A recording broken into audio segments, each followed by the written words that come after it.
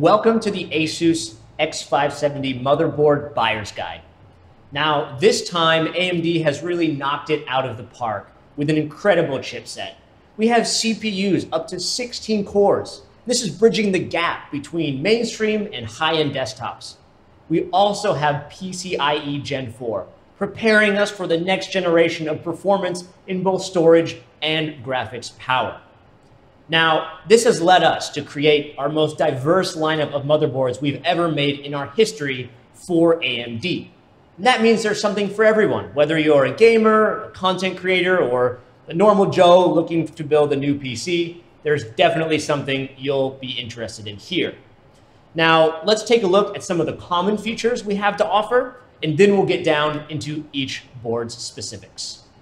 First thing I want to point out is the power delivery we've really beefed it up from the low end all the way to our premium boards here. We want to make sure we can handle up to 16 core CPUs. So we've made sure even the low end boards are definitely equipped to handle that. We have teamed power stages on all the boards, no phase doublers here. And the reason is because we want to be really fast. When that CPU goes from idle to suddenly demanding a lot of power across many cores, we need to be really fast when we deliver that power. And so we've done that with the teamed power stages. We've also opted for high layer counts in the PCB. So even on our low-end boards, we haven't skimped out. We don't have any four-layer PCBs here, as you might see from other manufacturers. We've gone with six-layer PCBs on even on our lowest-end boards. And that gives us a few benefits. The first is PCIe Gen 4 compliance. So we're already prepared for all the current devices that are PCIe Gen 4 and we're ready for whatever might come to the market later. So you're a bit future-proofed there, which is really important. We also have improved thermal dissipation. So the extra layers of PCB are going to help draw heat away from those critical components. And finally, we have more memory stability.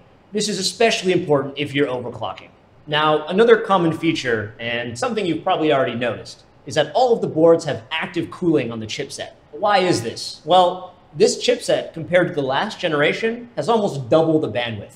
So it's running a little hotter, and the active cooling is going to prevent throttling, prevent performance throttling, no matter how much storage you load up your system with. So it's really important, especially if you're going to load all those slots with next-gen storage. Another feature these boards all have in common is five-way optimization. This is some really powerful software we've developed that automatically overclocks your build specifically for your build. So the way it works is it runs your system through a series of stress tests and gives you the best overclock for your components. It even allows you to tune your fan profiles automatically. And you can decide if you want your fans to be dependent on your GPU or your CPU or even a hybrid combination of both. That's really powerful stuff you won't find with the competition. In addition, we have some amazing onboard headers across these boards, which automatically detect whether you're using a DC fan or a PWM fan, allowing you to get the best performance no matter what type of fan you buy. Now, if you're someone who likes to manually tweak and tune your system, the Asus UEFI makes it extremely easy. We have all the features you could ever dream of, and we make them very accessible and really easy. So if you want to manually tweak your CPU settings, your, your memory timings, you can easily do that from inside the BIOS. Now, we have about a dozen boards, and we've split them into five distinct series. The first series we're going to start off with today is the TUF Gaming series. Now, this is built for people who value durability. So we've taken the lessons we've learned from our high-end motherboards, and we brought some of those components and some of those features that are focused on durability all the way down into the TUF gaming motherboards. Another thing we've done is we've designed these to be great for first-time builders.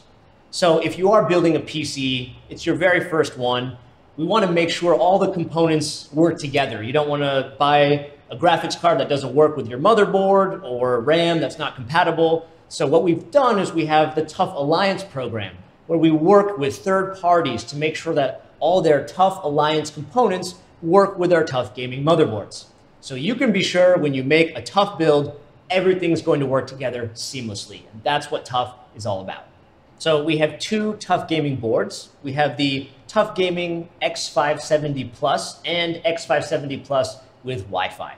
The TUF boards come with some really cool features related specifically to durability, in line with the TUF series as a whole. The first is military grade caps and chokes. This gives us really clean, pure power delivery. We also have really beefy heat sinks, which of course helps us keep temperatures low. Moving on down the board, we can see we have a safe slot PCIe slot. This is a reinforced slot. If you have a really heavy graphics card, or if you're doing something like transporting the build, you're less likely to suffer any catastrophic failure when you have that safe slot. In addition, we have DTS custom audio. So these are gaming boards. And what the DTS custom package allows you to do is fine tune your audio profile based on what type of game you're playing. So if you want to highlight the enemy footsteps in your FPS game, or have a great engine sound if you're playing a racing game, you're able to achieve that very easily with DTS custom audio. We also have ESD protection. Now, of course, we recommend you are grounded whenever you're doing a build, but if there's any accidental static electricity discharge, your critical components will be protected in many cases. Finally, we have two M.2 slots. So they've both been positioned in a way that's away from component hotspots in order to maximize their performance. The lower slot even has a heatsink. So if you're using that next gen storage, you'll still be able to maintain peak performance with that drive. The next series we have is the Prime series. And this is really for kind of normal human beings who just want a computer that's focused on getting things done, focused on productivity. So there are two boards. The first is the Prime X570-P. And this is a really solid board. It has DrMOS power stages. These are powerful enough to drive all of the Ryzen CPUs, even the 16 core CPUs that are coming to the market. So don't worry, any Ryzen CPU, you'll definitely be able to handle it with this board. This board also comes with OptiMem, which gives us better routing for traces, which is going to give us more stable memory. If you are just looking for system stability or you're going to be overclocking your RAM, OptiMem is going to be a definite feature that you want to watch out for. Now, the other board we have is the Prime X570 Pro. And this is a slight step up from the P. You're going to get a little more in terms of I.O. So you'll see there's an extra PCIe slot. So if you do want to plug in extra an extra storage device or something like a capture card, it'll be a little bit easier for you to do that on the Pro. You're also going to notice we've included an M.2 heatsink on the lower M.2 slot with the Pro. So if you are going to look to benefit as much as possible from a PCIe Gen 4 storage device, you're definitely going to want to consider the Pro as well. Another series we have is the WS series. And WS stands for workstation, and that is exactly what these boards are designed to be. For the X570 chipset, we have the WS X570 Ace. And this board is really solid if you're looking to get a lot of work done. If you're a professional, if you're someone who's a content creator, a scientist, you're doing some uh, financial analysis or something like that, this is going to be a really solid board to give you a powerful workstation. Now, some of the features it has are a U.2 slot. This is going to allow you to connect to enterprise class drives. We also have three PCIe slots. So this is the only board across our whole lineup that can run a by 8 by 8 by 8 configuration. So if you are looking to have, you know, three GPUs or uh, a kind of unique storage situation, this is going to be a board that you're going to definitely want to look at.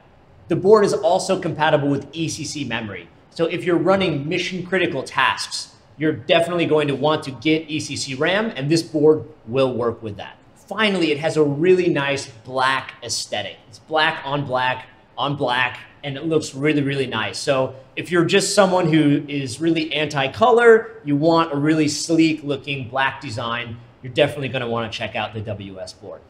So next up, we have the ROG Strix series. And this is for core gamers. We trickle down the gaming features from our super high-end ROG boards. Uh, features like the integrated I.O. shield. We have three Strix boards here to talk about today. The first is the Strix X570F. This is a really solid entry into the Strix series. First, I'll talk about the cooling we have. There are two heat sinks here, and they're actually connected with an 8 millimeter heat pipe. And this is really going to keep things cool. Now, on the other boards, we saw that we have plenty of power delivery to handle high core count CPUs. But here on the Strix, we're really focused at enabling overclocking. Now, you'll notice that this board, as well as the other Strix boards, have a really nice monochrome design. And this aesthetic look gives you the chance to customize the build to your own preference. So you can use features like AuraSync to have some RGB and customize that accent color to match your other peripherals or just to suit your own preference. Another thing we want to ensure with the Strix boards is that we really streamline the gaming experience for you.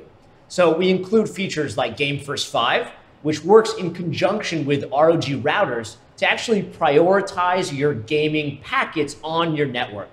So if you have the ROG router and you have the Strix board, you're to automatically get better networking performance while you're gaming. We also have a feature called BIOS Flashback, which allows you to update the BIOS via USB. You don't even need the RAM or CPU installed, you just need power to the board. A really convenient feature if you're looking to update the BIOS of a new build. Finally, the F board also has two M.2 heatsinks. We know that gamers want to run on high-speed storage for both their operating system and their game storage. So if you do plan to have two next-gen M.2 drives, you'll be able to run them without any performance throttling. Now, if you're really looking for Wi-Fi in your gaming build, you're gonna wanna step up to the X570E. This Strix board is gonna give you Wi-Fi, but not just any Wi-Fi, it's actually Wi-Fi 6. This is the latest 802.11ax standard. Now, ASUS as a company actually has amazing coverage of the AX standard already with a bunch of router options ready to go. So if you are looking for the latest gen Wi-Fi, you're definitely going to want to go with the E-board and make sure you get a Wi-Fi 6 router to match. The X570E also comes with a postcode display, so you can quickly identify or troubleshoot any issues you may be having when turning on the system. You'll also get a 2.5G Ethernet port as well as a 1 gigabit Ethernet port. Now, we also have a really special board, which is the Strix X570i. We've taken all of the key features of the full-size Strix boards and brought them down into a compact mini ITX form factor. So if you're looking for a high performance, a small gaming build that can run all of the latest Ryzen CPUs, you'll have no issues getting top performance from this really small i board. Now, if you are looking to create a, a gaming slash HTPC build, this is also going to be a phenomenal option. It has the Wi-Fi 6 that we just talked about, and it has a built-in HDMI 2.0 port. Now, at the very top end of the stack, we have our high-end ROG motherboards, the Crosshair series. This series is designed for true hardware enthusiasts who are really looking to push the platform to the absolute limit. We have some really impressive features across the Crosshair series, including OptiMem 3, which is a proprietary hardware tweak, which gives us the best performance and stability gains we've ever seen with memory. With Ryzen 3000 CPUs, you have a lot of flexibility in the memory space. So what OptiMem 3 allows you to do is tweak for extremely high frequencies if you're trying to break records. Or if you want to run at the performance sweet spot of DDR4 3400, you'll be able to dial in some really tight timings. We also have a differential voltage sensing circuit. And this is also really helpful when we want to tweak the system's performance. Normally, when you measure the voltages coming from the CPU, it's not quite accurate. The actual measurement is taking place somewhere outside of the CPU. And so you're not really going to get a precise readout in your software. What this allows you to do is actually get that reading directly from the CPU, which makes the overclocking or tuning experience much more intuitive and precise. Like all of our X570 boards, the Crosshair series comes with FlexKey. This is a really convenient feature that allows you to remap the reset button either on the motherboard or on the chassis itself to another convenient function. For example, you could set it to go directly to BIOS, or you could set it to turn off the lights on your motherboard. Now, exclusively with the crosshair boards, you can actually go directly into safe boot with the reset button, saving you a bit of time when you're doing overclocking. Starting off the series, we have the Crosshair 8 Hero. This board is really built for performance. We have 16 IR 3555 power stages, high permeability alloy chokes, and solid Japanese capacitors for high performance all around. We also have a lot of convenient features for building and for overclocking. For example, a clear CMOS button that makes it really easy. Just click, click, click, clear, reset, and dial in your next overclock.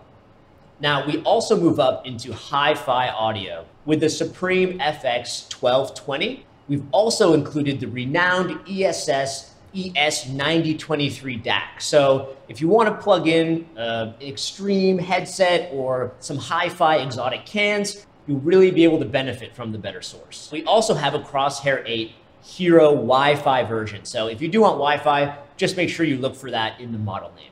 Now, moving up the series, we have the Crosshair 8 Formula. And this board is all about water cooling. So if you're going to build something that's a showpiece, you're probably going to be doing some custom liquid cooling, and this board is designed for you. So we have the CrossChill EK3, which is co-designed with EK and allows you to liquid cool the VRM solution.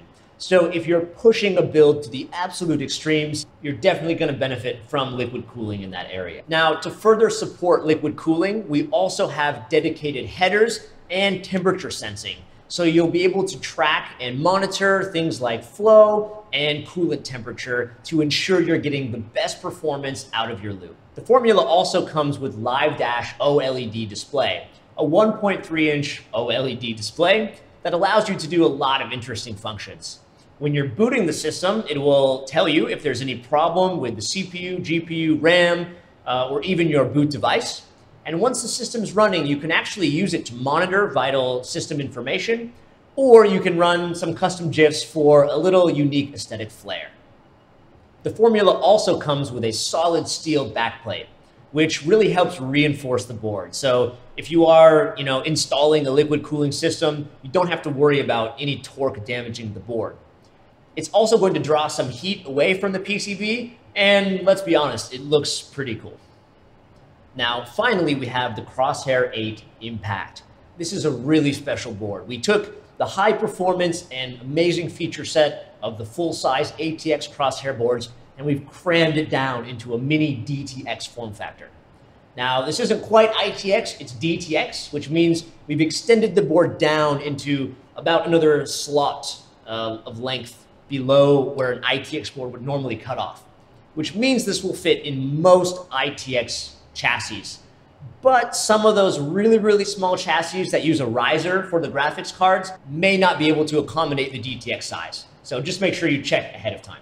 The reason we went with DTX is because we need a lot of space for the socket, but we still don't want to sacrifice any of the performance or the features that we have in the high-end crosshair board.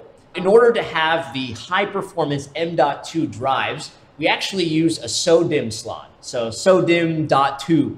So this allows us to put two M.2 drives in a SODIMM riser card. So we don't take up any extra space and we can put a beefy heatsink on both of those M.2 drives. So you can still benefit from the high performance next gen storage. Despite the small size of the board, we've still managed to include Wi-Fi 6 and the super premium audio chips that we found on the Crosshair 8. So if you're really looking for the absolute highest performance you can pack into a small chassis, this is the board for you. All right, that wraps up our buyer's guide for the Asus X570 motherboard lineup. We have a ton of boards. I hope you guys found something that's perfect for you. If you have any questions or comments for us, go ahead and put those down in the description below, or even better, reach out to us on our new Discord channel. I will put a link down there. Now, if you like this video and you want to see more from ROG, give us a like, comment, subscribe, and hit the bell for notifications. I'm Steven, and we will see you next time.